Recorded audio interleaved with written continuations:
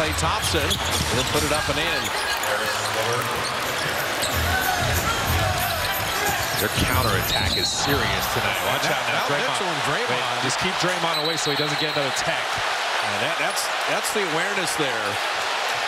You don't want Draymond getting run. Mitchell, I think, was frustrated that he got his pocket picked, but You know what? He's going to send Draymond to the foul line. Yeah, he might have been just trying to bait Draymond into another tech, you know? Donovan Mitchell knows how important Draymond is. That seemed like it was on purpose. He shoved him. He's saying, don't do that on the other side.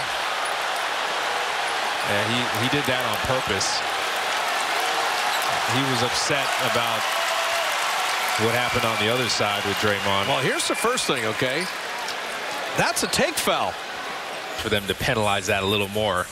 If you don't, then you never know what could happen the rest of the game. Draymond Green is still talking to Darius Garland, having a nice little discussion here. Yeah, now the thing we, the officials do a great job on replay, but we always ask for is brevity.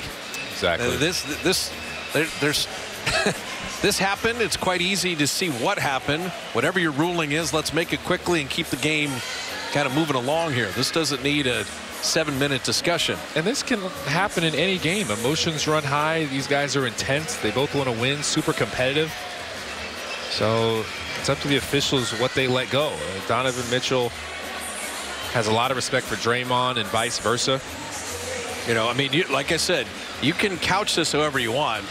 If you didn't think it was transition or not, it clearly wasn't a play on the ball. After review, the play has been deemed a common foul on Donovan Mitchell. However, during the process of looking at it for a flagrant foul, we can go back and see if that precipitated. And because of that, Draymond Green delivers contact on the other end of the floor, and he'll be given a technical foul and ejected from the basketball game for his second technical foul. By rule, the coach of Cleveland will pick the shooter from the bench to shoot the two free throws, and when we will So that's why it took so long. first by Cleveland, anybody in the game at the time. So they're going back to look at the Draymond play that precipitated that. I did not have that on my bingo card.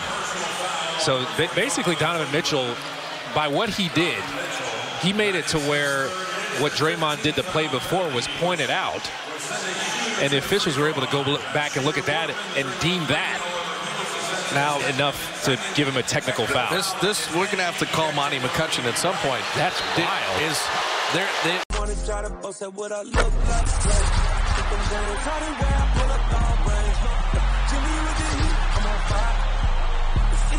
Over here, to the front.